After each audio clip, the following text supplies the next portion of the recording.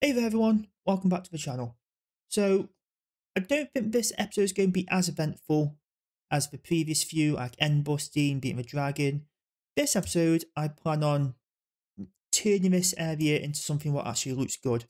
I'm going to have wheat, wheat farm, carrot farms, potato farms, get like a chicken coop, pig pen, a cow pen, just do little things where I can always have a source of food, source of leather, um, and again, source of trading items, especially when it comes to carrots, potatoes, and wheat. Just do little things around this area to make it look good, like the whole area up around me as well. So that'll take a little bit more mining, so I don't think I've got any more coal. But yeah, the plan for this episode is sort of like sort this area out, make it look good, get everything lit up. That is cranking, by the way. I've got plenty of items in there. And in between episodes, I did end up going and get my four shulker boxes of items because I really need it. I kind of wish I did it before now, but I didn't have the rockets just pure because I did have one where I already collected a lot of stone to make that. It's fine as cobblestone for now. You can't notice it from here anyway. So it's not too big of a deal, even if I zoom in. Yeah, I suppose if you can zoom in, you can tell, but it's fine for now. So yeah, I don't know what I'm going to do first, but it's well, I will clear out all the weeds, get everything lit up so I'm not getting attacked constantly, and then yeah, I'll start making a few things around here. Well, I've done a pretty good job at lighting up the area. All this is lit up. Some of the mountain areas are lit up as well, but I'm definitely going to get spawns up on top. I use about two and a half stacks of torches and it wasn't enough to do everywhere I wanted to, but at least it'll do for now. I'm going to get no spawns in here, so that's the main thing I want. The first thing I'm going to build is probably like the cow barn, which is going to go here. I've already dug out a bit of an area. I've got a design. I will link it in the description. But yeah, let's get building. Well, I'm really unsure why light levels are showing on the replay mod, just purely because I didn't even have them turned on in-game. I think next time I do a replay mod, I'll test it first to see if they appear. But yeah, that's just really weird.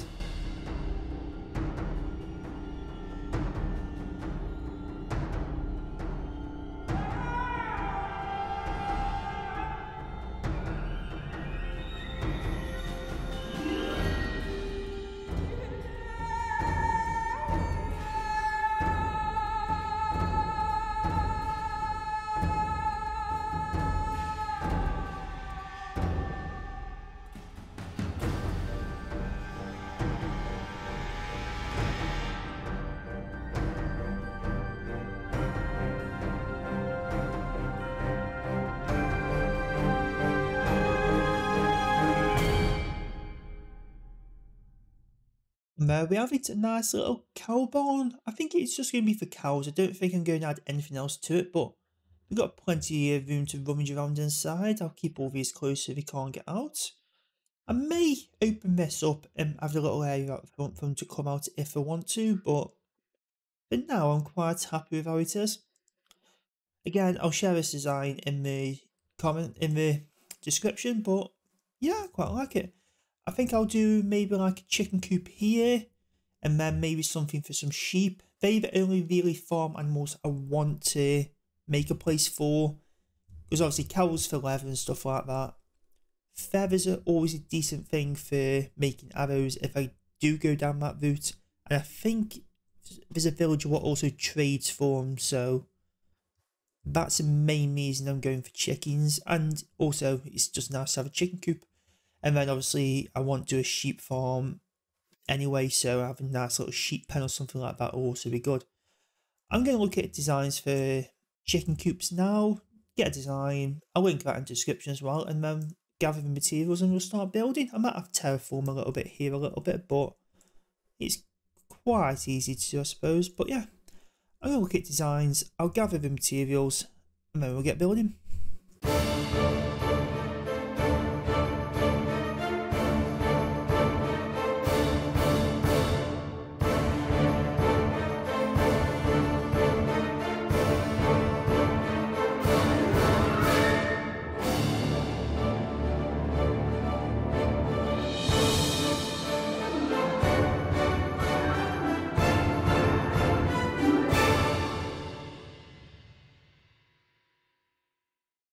There we have it, a nice little place for some chickens.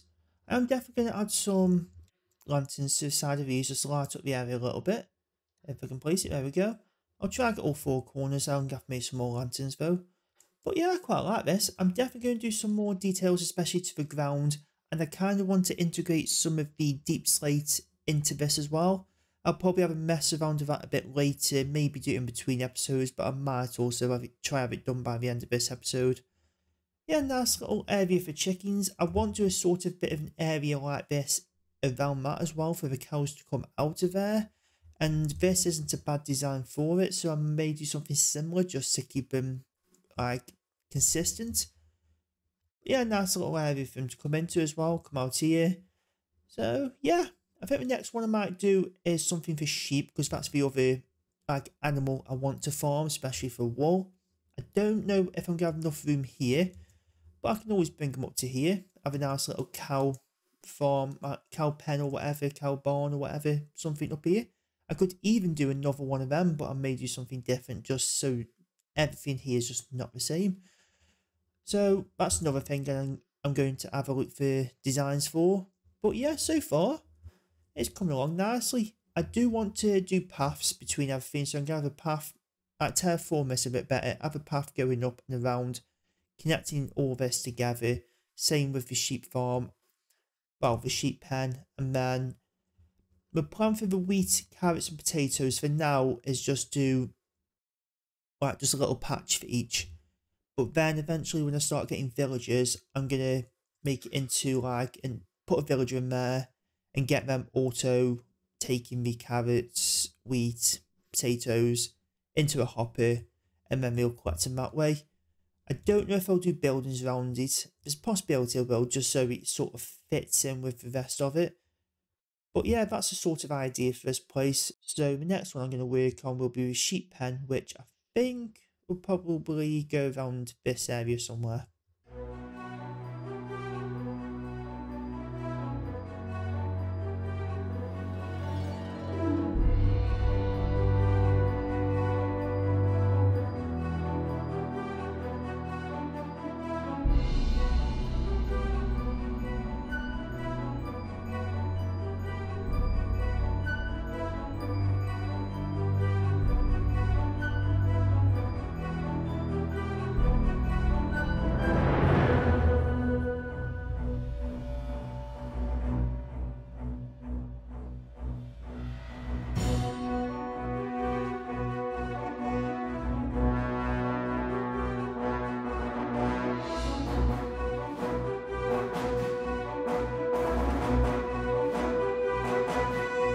And there we have it, a nice little place for some sheep. Again, I'm going to put a border out here like we have done for the um, chicken coop. And like the same I will do for the cow barn as well. But I like the four sections because I can do like four of each colour of sheep in there if I want to. But it's also just plenty of space for a lot of sheep. I can cram them in there and get wool whenever needed. I've also done a little bit of a crop farm over here. It's just, this is only temporary until I start getting villagers, then I will automate it. I am 100% not going to automate these, not at all. There's, no, there's nothing sinister going to be going on underneath any of these whatsoever. Um, but yeah, nice little place for them. It makes the area look better already. Like just a few little buildings, and I'll have something else around here as well for the crop. So yeah, the little in it area bit is really coming along nicely. I do want to change some of the blocks in both of these to sort of match this a bit more. So probably bring the deep slate in around the top of both of them a little bit. Maybe do the bottoms of these as bevels like they are on here as well. Just little things like that. I need my lanterns in as well because I've run out of iron. So, but yeah, maybe bring a bit of leaves in. I, I want them all different but looking similar if that makes sense. So yeah it's definitely changes I'm going to make. I might have a look at that in between episodes. I'm not 100% sure yet but I think the next thing I might do is bring in a sheep chicken and pig um, and cows. And then maybe look see if I can find a village get some villages in here and maybe make these up as well. Well then there we have it. Nice little oops a nice little crop area I've only done it as carrots and potatoes because I kind of remembered that you have to have rails, a rail system and stuff like that for wheat and beetroot. So for now, it is just potatoes and carrots on both sides. Uh, there is a village just a little bit over that area, so that's where I've got my villagers from. And I also grabbed a few extras and we seem to just con congregated into this little area here as well. But yeah, I've got the cows in there now. I've got the sheep in this one. I am currently still breeding them up because I do want more staying in there. And also some chickens down there. I think the next thing I want to do is just get more of a temporary villager, breeder and iron farm. And I remember Impulse SV doing one in his hardcore world, so I'm going to find that video. I don't know where I'm going to put it just yet, because I, I sort of have plans for this middle area. I think I want to do a bit of a fountain, with everything sort of like coming off of it, pathways all the way around. So with it just being temporary, I think I may just do it in that corner, just keep it out of the way for now. Because later on, I do plan on making a big iron farm somewhere within the base. And I also want the villager breeder because at some point I do want to get librarians, masons. And I think what my sort of plan is, that I want my main base sort of be in this area here, like below the mob farm.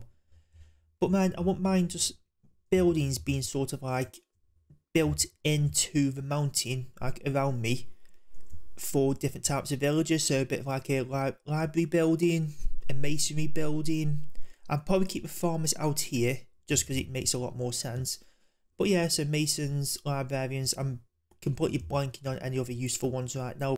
So sort of buildings embedded into the mountain for my villages i'll probably do that with some other things as well but the main thing i want that for is villages so yeah, I think I'm going to get on with the iron farm, well, iron and villager breeder farm combined.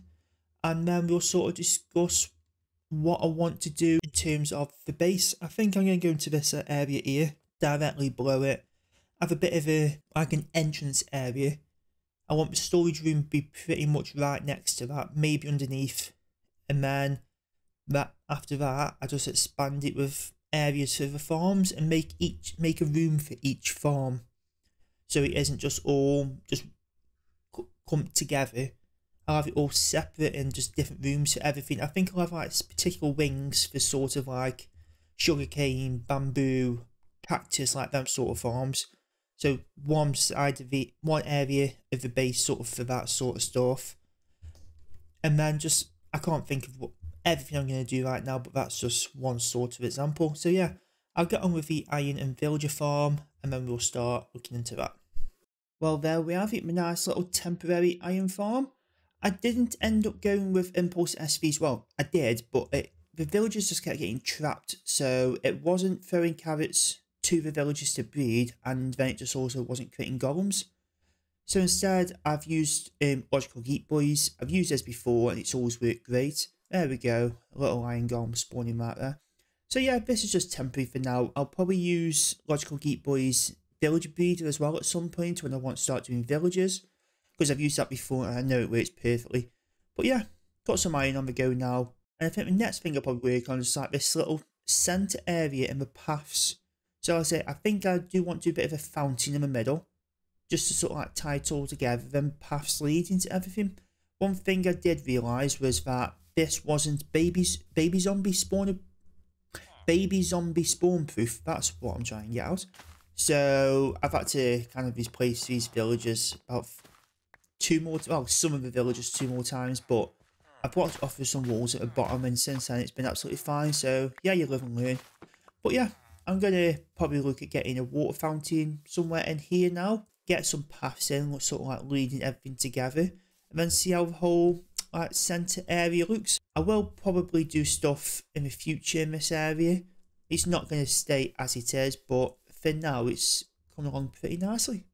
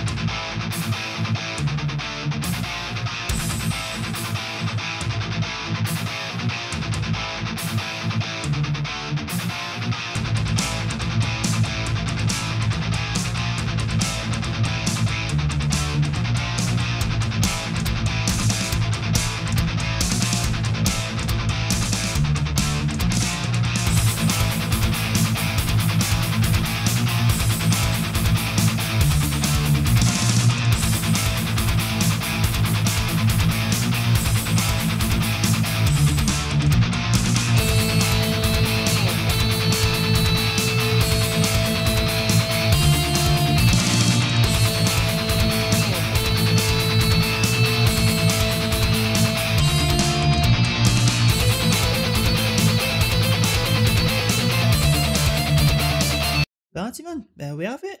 Let's have a look at this from up tall, up high even. Yeah, I, I really like the fountain in the middle. I like the pathways. I haven't quite finished them yet because I'm not 100% sure of the layout of ev where everything's going to be. That's definitely going to get built up into a building. The sugarcane is going to move.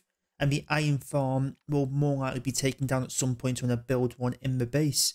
I'm not 100% sure on this bit yet because how I've done these along the path, I haven't done it this way here, but I may have a path going off here towards this eventually. So I think it'll look a bit better then. I do want to probably at some point put some greenery around maybe the side sort of thing, maybe some leaves and some flowers.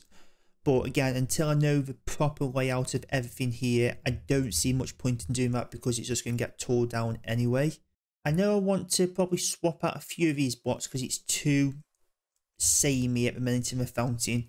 So I'll probably just swap them out for maybe some cracked versions of these blocks or maybe the deep slate tiles or maybe just some just normal cobble deep slate. Just something to mix up a little bit so it doesn't look as bland. So, so sort of make it like the pathways because I think that'll look a lot better. But I'll get to that at some point when I start changing stuff around around the place.